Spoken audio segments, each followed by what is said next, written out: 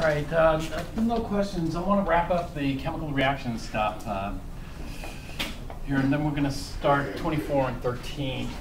Um, and so if we take something like sodium phosphate, uh, Na3PO4, we have, you know, what are the properties of sodium phosphate? You know, what can you tell me about some of the properties of sodium phosphate? Well, let's start off with the physical properties. What, what do you think? Solid, liquid, gas? You think it is? Say pure sodium phosphate. It's a solid. Uh, what makes you think it's a solid, or you know for sure?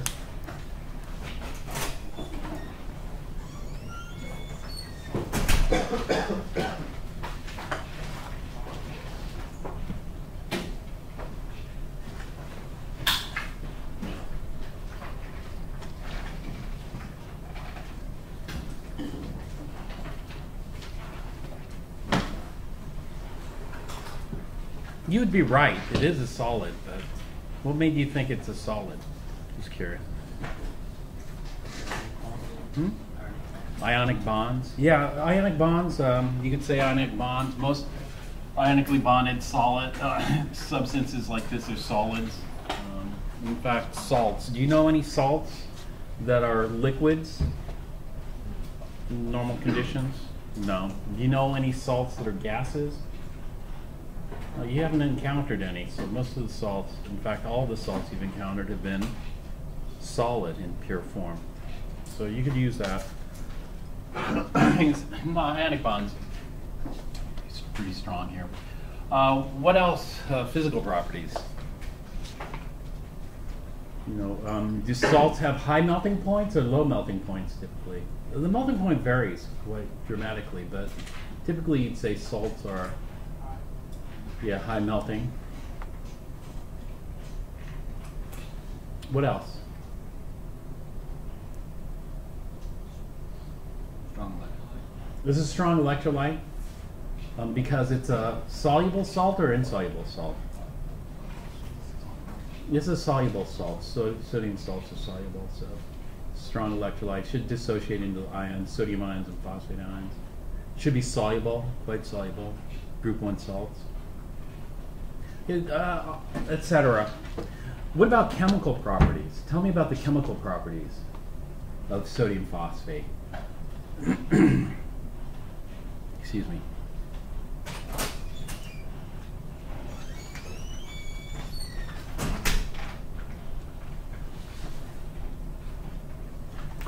Well, uh, the chemical properties we just do systematically. So, for example, sodium phosphate consists of sodium ions and phosphate ions. And so the first thing is metathesis.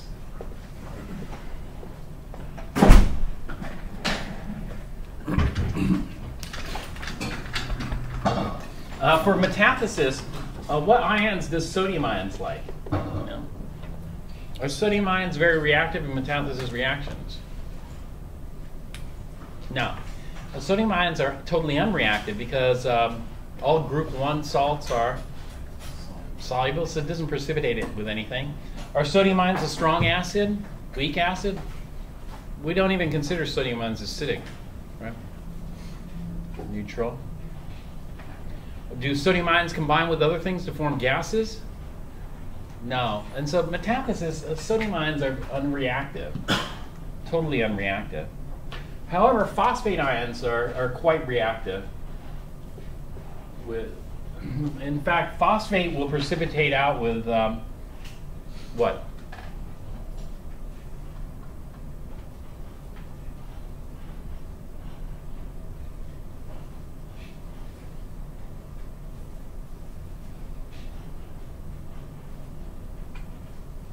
Like anything besides group one. Yeah, exactly. Uh, phosphate will precipitate out with any cation except for group 1 and ammonium. And so it'll react with any, any other cation it's going to precipitate out. And so phosphate's quite reactive in metathesis reactions. And so sodium, nothing. Phosphate, yes. Very reactive. Um, what other types of reactions could sodium phosphate undergo? it can undergo acid-base reactions. If we look at um, Bronsted, we'll skip Lewis for now. If we look at Bronsted, um, sodium ions, are sodium ions good proton donors? No. Are sodium ions good proton acceptors? They want an H plus? No. And so sodium ions we call neutral. You know, those are neither uh, proton acceptors or proton donors. But phosphate, uh, what is phosphate? Can phosphate accept protons? Yeah, and so phosphate's a base. Well, um, well, bases react with acids. So what acids will phosphate react with? Will it react with all acids? All Bronsted acids? No. No. Um, there's a pattern you'll notice when you do start doing these. And that is, if we look at the chart, you know, we have acid strengths. For example, HClO4 is at the top of the chart.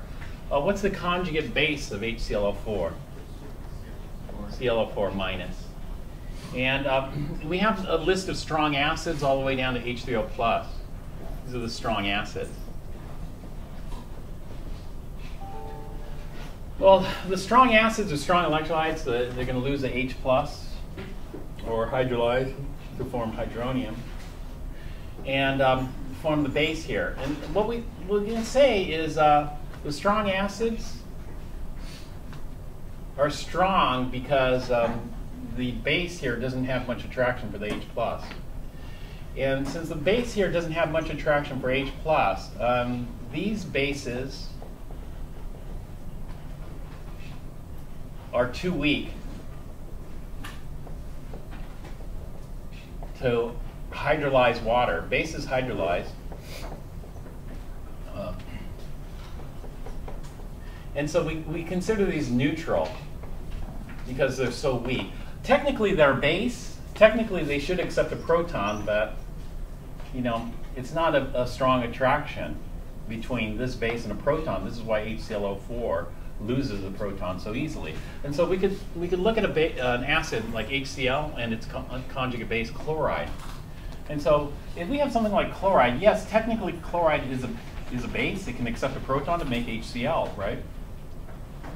But when we know when we have HCl in solution, um, they completely separate. And, and so um, we think about this. Yes, it is on the base side of the chart, but it's not much of a base. In fact, if you ran out of, um, let's say you ran out of milk of magnesia or something, and you, you, you need to, um, you need some kind of antacid. If you ran out of uh, milk of magnesia, could you substitute table salt as an antacid? Well, you might say, yeah, I could substitute table salt. You know, sodium ions are nothing, neutral, but chloride's a base. And since chloride's a base, it's a proton um, acceptor, and so it should neutralize some of your stomach acid. Will it? Is chloride going to neutralize some of your stomach acid? The answer is no, it's too weak. Too weak. And so this is why we, we consider these neutral, uh, quote unquote. However, um, something like phosphate, phosphate is pretty, pretty strong it's not quite strong enough to be considered a, a strong base. You know, a strong base would be something like hydroxide, sulfide, you know, oxide, methide, etc., amide. Excuse me. These are the strong bases. Now, the strong bases, um, if the weak bases are too weak to hydrolyze water, the strong bases have no problem hydrolyzing water. In fact, the strong bases should do what to water? Do strong bases ionize? You know, strong bases are strong electrolytes. Strong electrolytes ionize 100%, right? And so if I take a strong base like sulfide, what does sulfide ionize into? If sulfide is a strong base, which it is, and strong bases are strong electrolytes, and strong electrolytes ionize completely, then what does sulfide ionize into?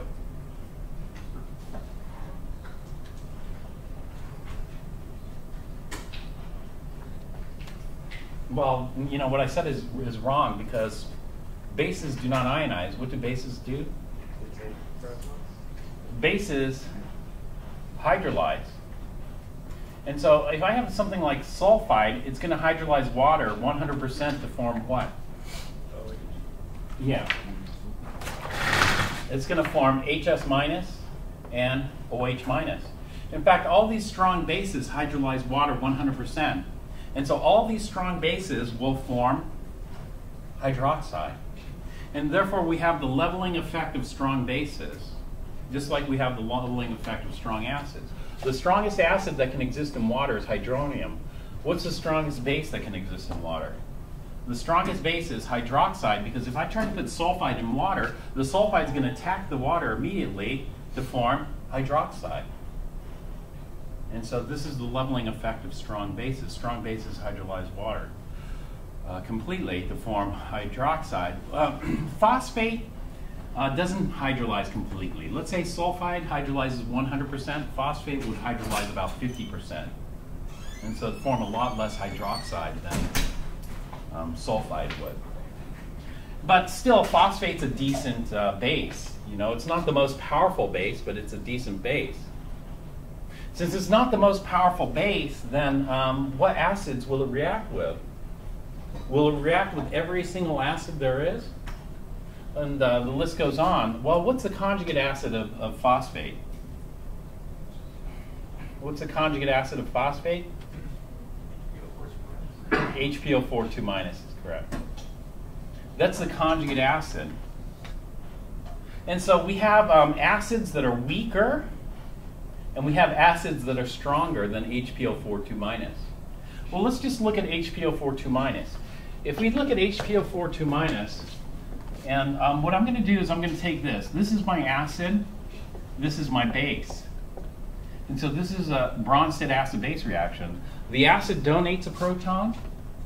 The base accepts a proton. So if that's my acid, it donates a proton to form PO4.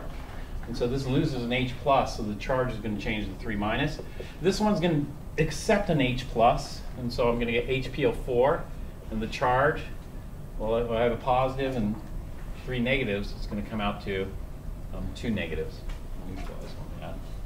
And take a look at this reaction. Do you think um, do you think monohydrogen phosphate is going to be an effective acid to neutralize my phosphate? So uh, this is an acid-base reaction. You, do you think monohydrogen phosphate is pretty effective at neutralizing phosphate, my base? So let's say I have some phosphate, you know. This phosphate solution is going to be um, pretty basic because what happens is phosphate hydrolyzes water about 50%, and this creates a lot of hydroxide.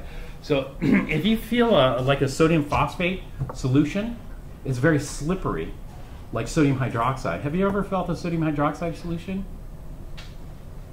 Very slippery. Phosphate, same, very slippery. It creates a lot of hydroxide. And so I know that this is kind of basic, you know, pretty basic. Um, pH should be pretty high. pH is high for bases. And so I want to neutralize that. I'm going to use, can I pick any old acid? I'm going to pick this acid. I'm going to neutralize my phosphate. Am I going to be successful? Will I be successful? No, I'm not going to be successful because look at the products. What do you notice about the products? It's the same thing. Did neutralization occur here or, or partial? No. In fact, there's pretty much no reaction. There is a reaction because we can't stop this from reacting. I mean, if we were to label this, you know, there's, uh, there's P32 is a radioactive isotope of phosphorus. We can label this one with a P32. This one would be normal P31, which is not radioactive. We'd see that this one would uh, lose the proton in some of the collisions. So we might start off with this, but what's going to happen is it's going to get all mixed up because they're just going to be swapping the proton back and forth. But essentially, it's no, no net reaction, so we'll just call it NR, no reaction. And so what that means is that monohydrogen phosphate is not strong enough to neutralize this. That means we need an acid that's weaker or an acid that's stronger. stronger. We need a, a stronger acid. And so what we say is that phosphate will react with any acid, any of these acids, that's stronger than monohydrogen phosphate. But if we have an acid that's weaker than monohydrogen phosphate, or if we have monohydrogen phosphate itself, then we're going to get no reaction.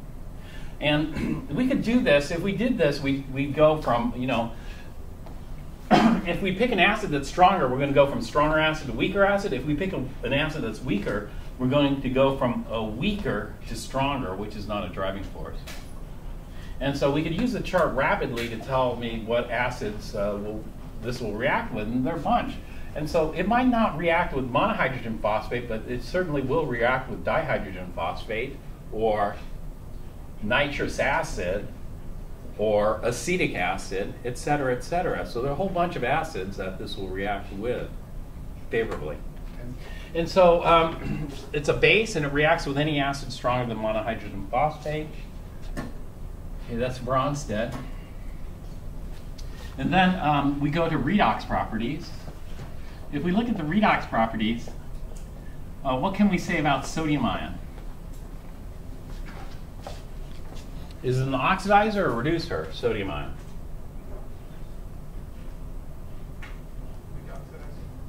Yeah, this is an oxidizer, and it's very weak. Even though it's a weak oxidizer, sodium ions can react.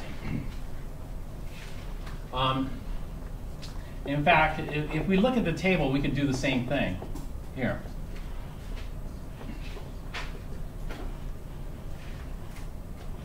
Sodium ions are weak oxidizer. The strongest oxidizer is what? Fluorine or fluoride? Fluorine.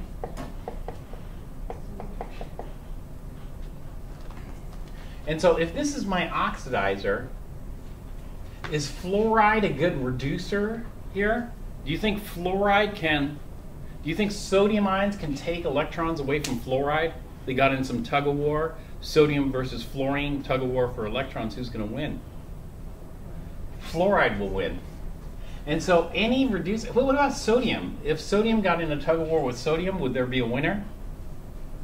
No. And so what you need is these are weaker reducing agents, these are stronger reducing agents. And so what you need in order to react with sodium ions is you need a stronger reducing agent than sodium metal. And what's a stronger reducing agent than sodium metal? Like lithium metal. Lithium metal will work. Potassium metal will work. And so these species will react. But these species are very reactive, very dangerous. And so sodium ions are essentially unreactive unless you have an, an exotic, um, very powerful reducer. And so it's quite weak. How about phosphate? Is phosphate on the chart?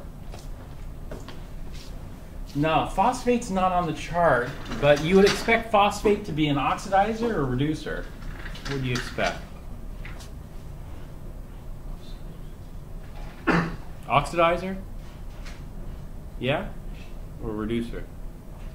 Oxidizer. Phosphate should be an oxidizer.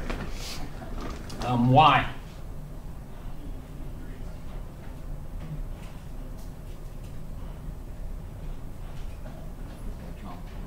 It's electron poor. What makes it electron poor? The oxygen or the phosphorus?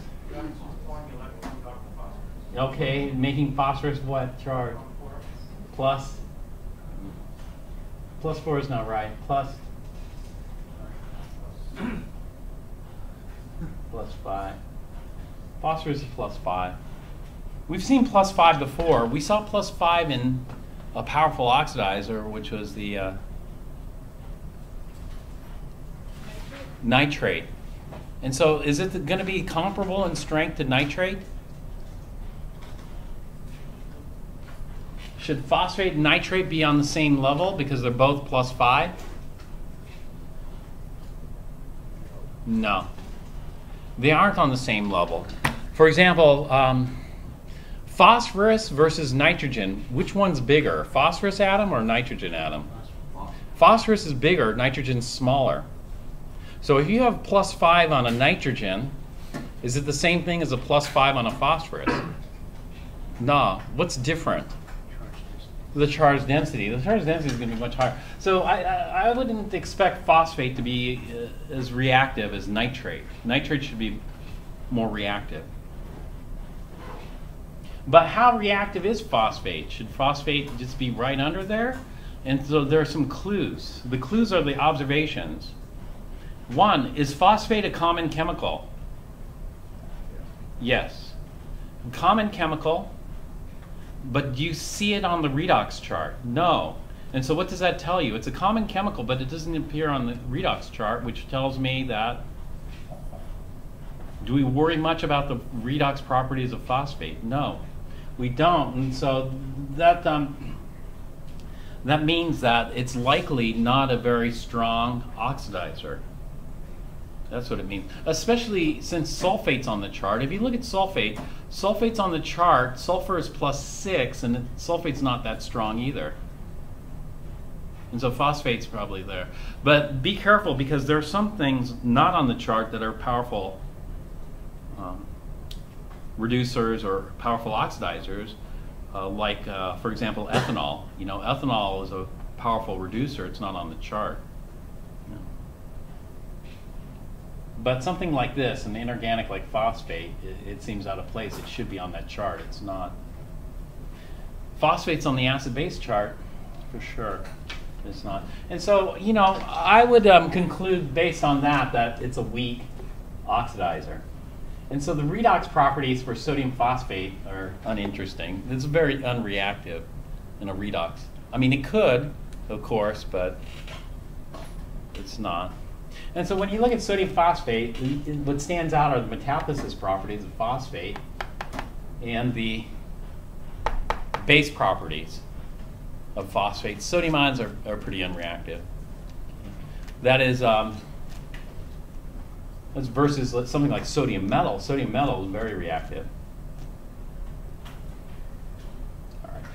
Well, that's what uh, we did Bronsted acid base. This is what the chart is here Bronsted acid base. Lewis acid base are much uh, more complicated. We have to take Lewis acid base reactions case by case, usually, we look at those individually. Um, sometimes we can group them. Like one of the types of reactions that we can group together is, uh, is this one. And so we're going to move on to chapter 24 now. Chapter 24, uh, we're looking at uh, complexes. And it turns out the formation of complexes um, occurs via a Lewis acid base reaction. And so uh, one of the Lewis acid base reactions is like this. If I take gold, 3 plus, and then add four chlorides to this, um, this turns out to be a, a Lewis acid base reaction. And I, I, just said, is chloride a very good base? No. No. But I shouldn't have said that. I should say, is chloride a very good Bronsted base? Then, yes, uh, the answer would be no. It's not a very good Bronsted base. But a chloride could be a, a Lewis base. And in fact, that's what it's acting as here. It's a Lewis base, and it's a decent Lewis base in this uh, reaction. And so if I have some gold 3 here, gold 3 is going to be my Lewis acid chloride is going to be my Lewis base. And so the reaction's like this. I take a gold 3, um, which is the acid. Acids are proton, uh, not proton, donors. What are acids in Lewis? Electron pair acceptors. And bases are electron pair donors. So chloride here is going to look like this, minus. And uh, what's going to happen is um, there's going to be a reaction here. So with this electron pair, it's going to react.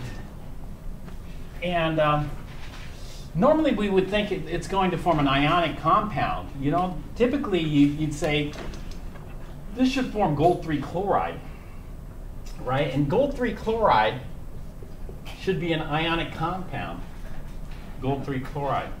But it, it doesn't in this case because what happens is this bond turns out to be a covalent bond, like this.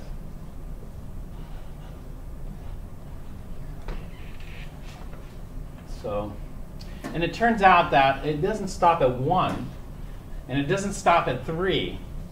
Eventually, what we're going to get on here are four chlorides covalently bonded to the gold.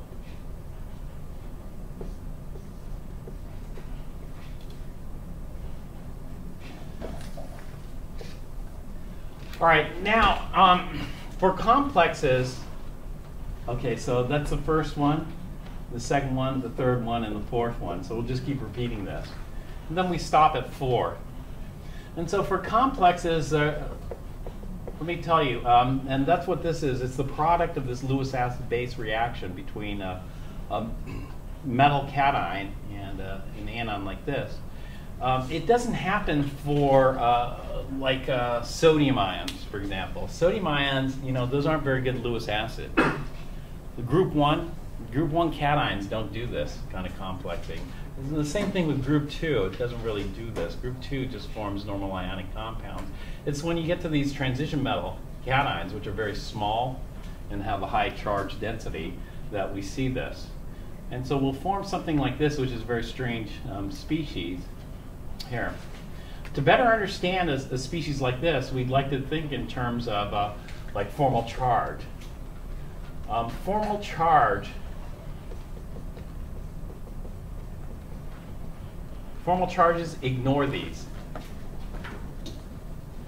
Okay, because if we did the formal charges, over there chloride is minus, but here the chlorine would be zero because in formal charge we assume the bonding is what? When we're counting formal charge, we assume the bonding is 100% covalent. And so that would bring the, the charge on chlorine to, to zero, and then the charge on gold would change as well. But we ignore the formal charges. And in other words, what we're going to do is we're going to just pretend the charges didn't change. So gold is still 3 plus, it wouldn't because now it's got a whole bunch of extra electrons. And, and, and now chlorine, these chlorines are not zero. These chlorines are all going to be negative, one. And so uh, if these chlorines are all negative one, then um, we don't usually show the negative ones there. We just usually show the gold. Then negative four plus three gives us a net negative charge here. It. And uh, the second thing about complexes is uh, this valence bond theory fails.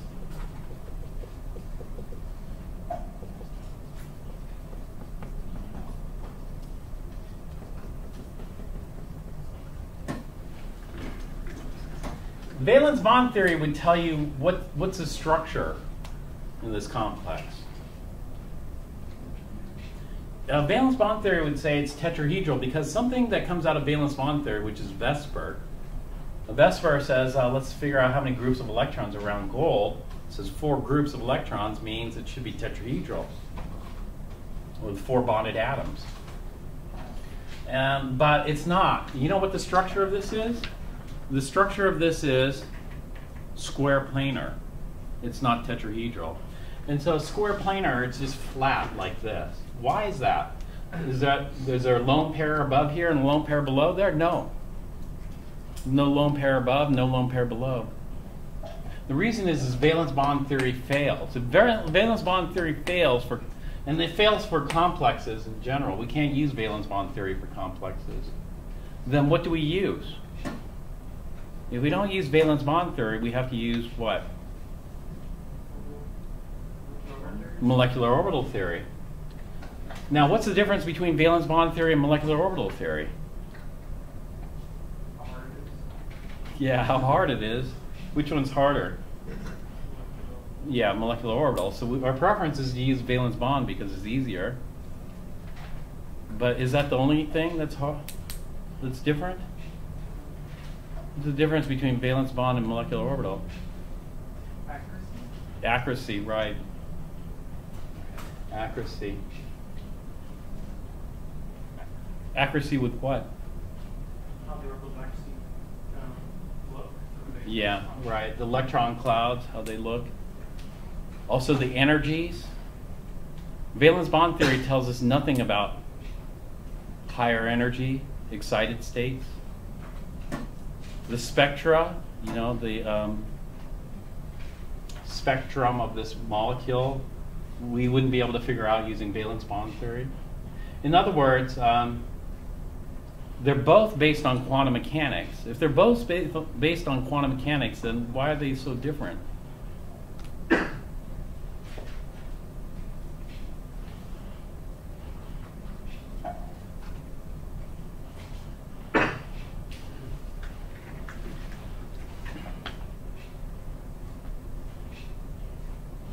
why don't we just get rid of it? Well, because of the difficulty, but why is it more difficult? Why is molecular orbital more difficult?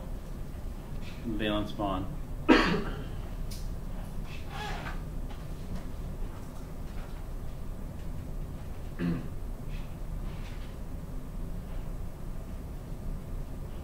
And so, this, well, this is a major fail for valence bond theory. We can't. I mean, you know, we'll, we'll, if, we if we try to use valence bond theory, we'd say, oh, those are um, those look like sp3 sp3 sigma bonds. Those aren't sp3 sp3 sigma bonds because we don't think in terms of valence bond theory for this. We we think in terms of MO theory. MO theory applied to complexes is called um, ligand field theory, but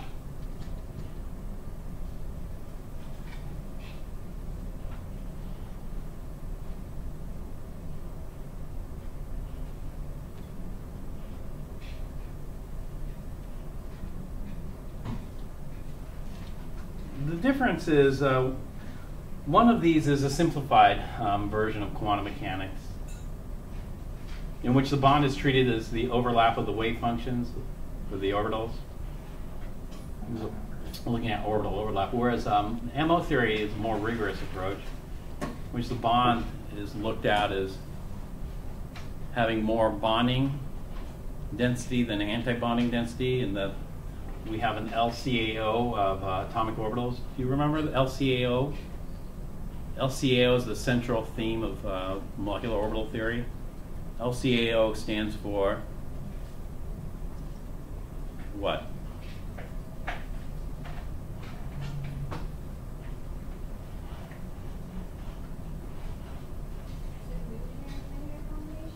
Yeah, linear combination of, of the atomic orbitals. And so if we did that and then we do this, and then we, we get a much better picture of what's happening with the structure yeah, and the bonding in this complex.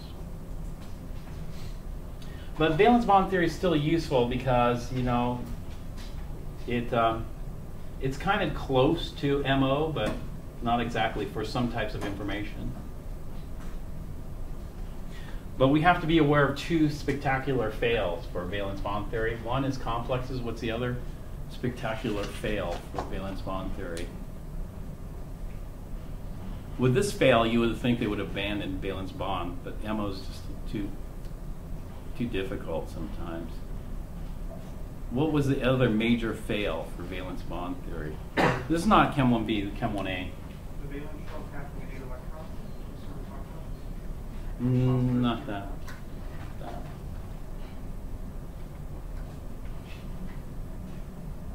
The other spectacular fail is for something we breathe in every day.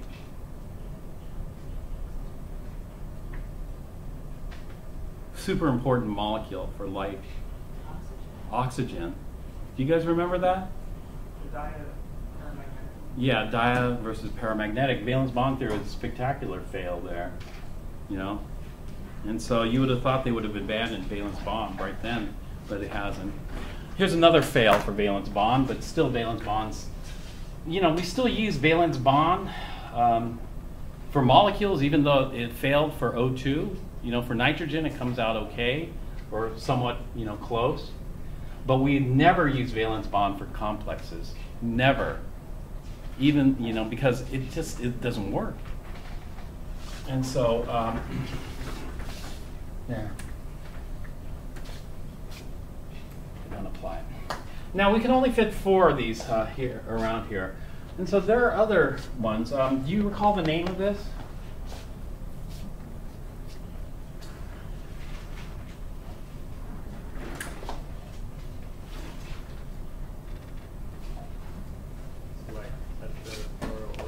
Yeah tetrachloroaurate's close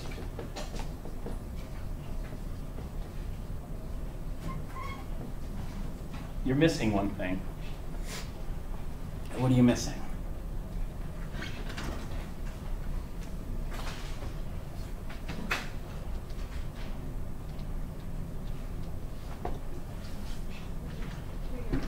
the Roman numeral three.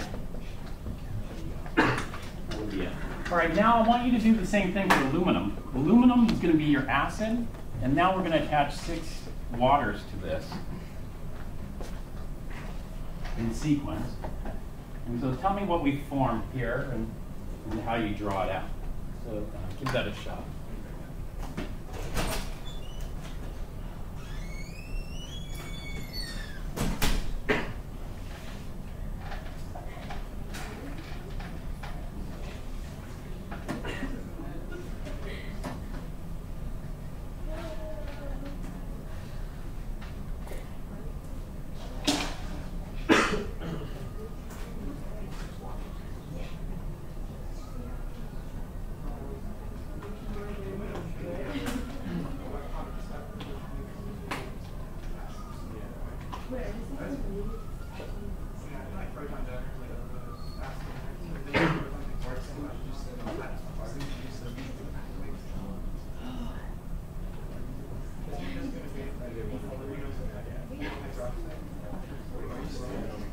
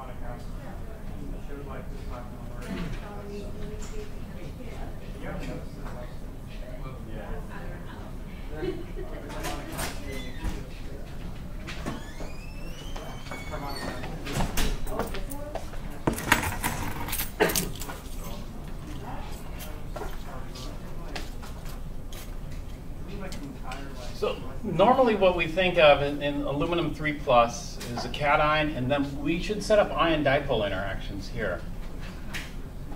And so we have the ion, the full charge here, being attracted to the dipole of water by an ion dipole attraction, which just shows this. Right? But in, in this case, that uh, interaction is very strong. In fact, um, you know, if this were like a sodium ion or magnesium ion or, or something like that, we, we would just expect an ion dipole. Because the charge density isn't so high, but the charge density on aluminum is very high. It's a very small cation with a high charge. Turns out that interaction is much stronger. And so what this looks like after six of these attach to the aluminum is we get a structure that looks like this. Now, we retain the charge on aluminum, so it's just 3 plus, and then we just add the waters, but here, water will be electron pair donor to aluminum, and we're going to form a covalent bond here. And so like gold, we would expect an ionic bond, what we end up with is a covalent bond. And so now we're going to have a covalently bonded water. If you look at the formal charge on oxygen, what is it?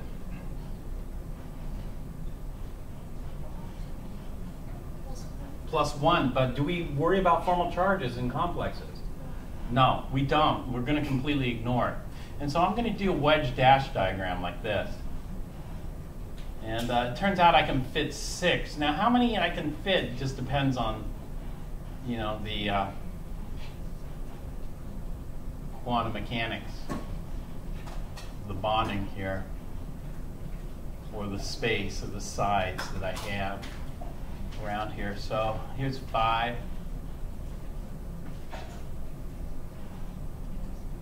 This is my six. It's six waters around there. Since I ignore formal charge, then that means that the aluminum's still 3 plus, and the waters, even though they should be positive, the waters are going to be neutral, zero charge. And so if I have six waters, each neutral, and one aluminum 3 plus, the total charge on this is going to be 3 plus. Now, the difference here between the hydrated ion, the hydrated ion just has ion dipole. Those are intermolecular forces. Intermolecular forces, even though the ion dipole can be quite strong, are still very weak compared to an actual covalent bond. Here, in this case, we've got an actual covalent bond here. It's going to be strong. So these waters are, are attached. It doesn't mean the waters can't be broken off. They can, but um, these waters are bonded now to the aluminum 3 plus. Not, and you'd expect it, you know, well, anyway, um, if we if we did formal charges, all the oxygens would be would be a plus, and the aluminum would be one, two, three, four, five, six. Aluminum now has six electrons. It was plus three, so now it's going to be minus three.